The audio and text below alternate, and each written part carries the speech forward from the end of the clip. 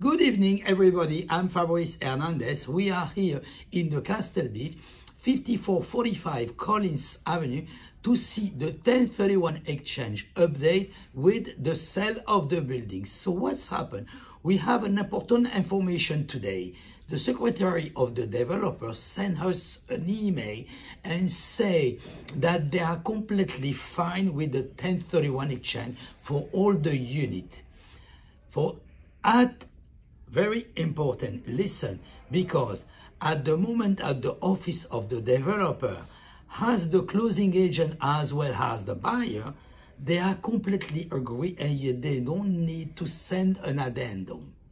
They have only to process with the 1031 exchange company and how and their company and put in contact at the moment at the closing to be the process done so here in my office on the lower lobby CU4A in the Castle Beach, we can process and help you with the 1031 exchange company to have the communication with the developer at the moment at the closing.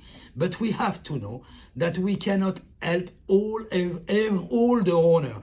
We can help all the owner that he can working with us. So we have, is not it's not difficult, but it's a process and it's a lot of work. So you can, you must understand that we cannot do the process for the 1031 exchange and you will work with another realtor to buy your other property. So at this moment today, we will do all the help that you need, all the process that you need with the 1031 exchange company, with the uh, developer at the moment at the closing, at the moment that we work with our office. So you have to know that what's happened. You have to know that the, the closing is not the firm date the developer extend the closing date to the October 50, but he's not sure. It can be before, it can be after. He's completely in his right to do it. But we know that we met very close the 95% of the minimum purchase contingency. So at the moment that they have the minimum purchase contingency from the 95%, they will process to the closing. Or once, so first of all, once of the minimum purchase contingency has been met, or it can be waived by the buyer, and all the owner will be notified and receive an email to the closing process. So what's happened if, again, if the buyer say it's okay before the 95% because it's possible the minimum purchase contingency is 95%. So at the moment that is met or waived by the buyer, the process of the closing can be done.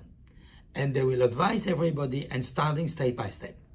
That's it, guys. So I suggest to you, click on my YouTube channel, subscribe on my YouTube channel. Like this, you can receive a notice always when I put a video online, starting for the update of the Castle Beach process for the sale of the building. So thank you for watching this video. You can have more information, personal information. You can uh, take an appointment with me. I will put the link below here on my agenda, agenda electronic, electronic agenda. Like this, you can take an appointment at your convenience and uh, meet me and explain you what's happened with your unit. Also, there is my phone number that is a WhatsApp, also is a WhatsApp too. So you can uh, send me a text, you can send me a WhatsApp and take an appointment with me to have all the information. Or if you're not, not here in the Castle Beach or in Miami, you can call me by WhatsApp, you can call me whatever you want. Take an appointment, we can do a Zoom meeting and send you all the information that you need from your unit. Thank you for watching this video, guys, and see you soon. Bye-bye.